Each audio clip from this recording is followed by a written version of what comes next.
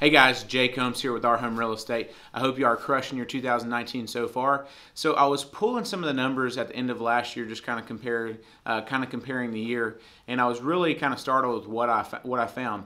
Um, in 2018, there was about 4,400 agents in Knoxville Area Association of Realtors.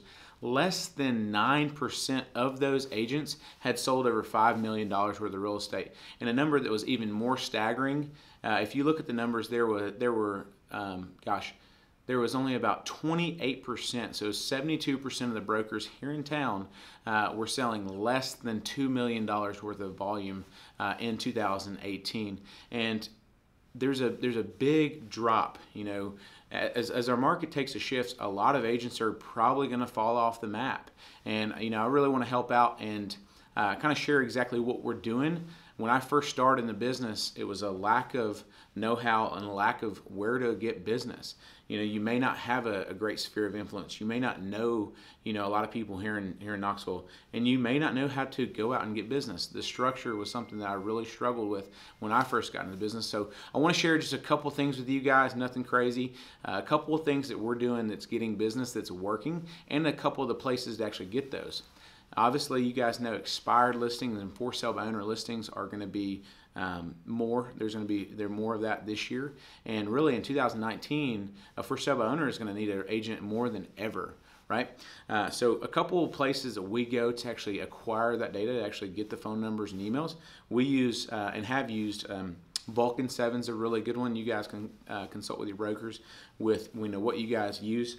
But Vulcan 7, um, Mojo, uh, Mojo has a, a, dialer function, and so does Vulcan 7. That those uh, those companies will pull all the data from uh, all the expired listings and all the or what's available, anyways, uh, for sale by owners. And we use another um, product called Cole Realty, and that we can go out and so if we just sold a property, we can go out and map search a neighborhood and actually call all the other neighbors. So like let's say like we had one in Maryville that went multiple bid. And so we called all the neighbors and just said, "Hey, listen, we had a had a lot of traction in your area. Uh, our house went multiple bids, so there's more people that are looking in the area. You know, who do you know that maybe you know considering selling? You know, and, and, and if not, you know, hey, we're trying to help our buyers out. You know, when when would you consider selling, right? So, and, and I can go in more in depth with scripts later if you guys want more of that. I can send you guys some of our scripts. But we're using Cole Realty, which in Cole Realty you can, like I said, pull those neighborhoods and you can download all the phone numbers, emails, and cell phone numbers, and you can plug those in directly to your dialer, and that way you can actually um, call those and using the dialer it's a lot lot faster. We did about 66 transactions that were expired and for sale owners last year for about 12 million dollars. So it's it's a great way to do it. It's a great effective tool and it's you know relatively low cost. So hope that helps guys. I hope you guys crush 2019.